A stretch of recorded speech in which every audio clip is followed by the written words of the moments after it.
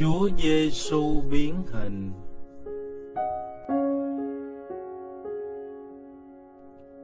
Khoảng một năm trước ngày chịu khổ hình Chúa Giêsu bày tỏ vinh quang người trước mặt ba môn đệ dấu yêu.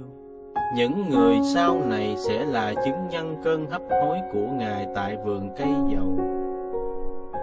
Đó là Phêrô, Gioan và Giacôbê. Chúa dẫn các ông lên một ngọn núi cao và biến hình trước mặt họ. Mặt Ngài sáng chói như mặt trời, áo Ngài trắng như tuyết. Vinh quang Thiên Chúa giải tỏa khắp thân mình Ngài. Môsê và Elia hiện đến đàm đạo với Ngài về cái chết Ngài sẽ phải chịu ở Jerusalem.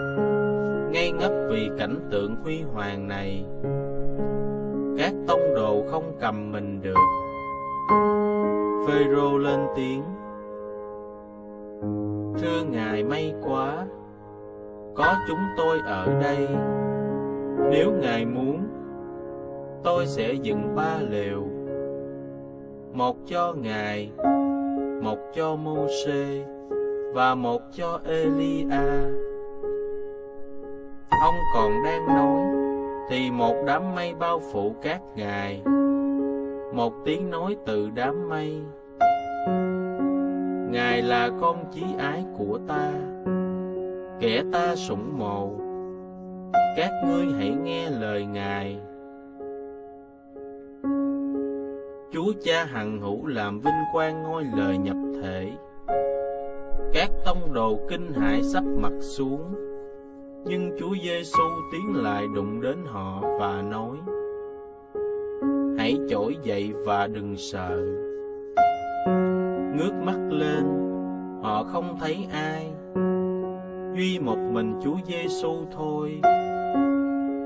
Trong khi xuống núi, Ngài dặn họ đừng nói với ai về điều đã thấy, cho tới khi Ngài sống lại.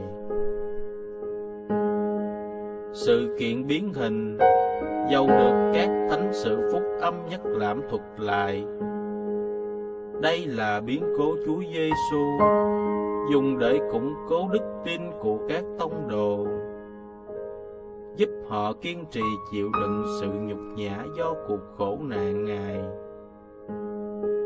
Ngài còn muốn dạy cho họ hiểu rằng sau những lao động và đau khổ trong đời này sẽ đến thời ân thưởng và vui sướng đời đời.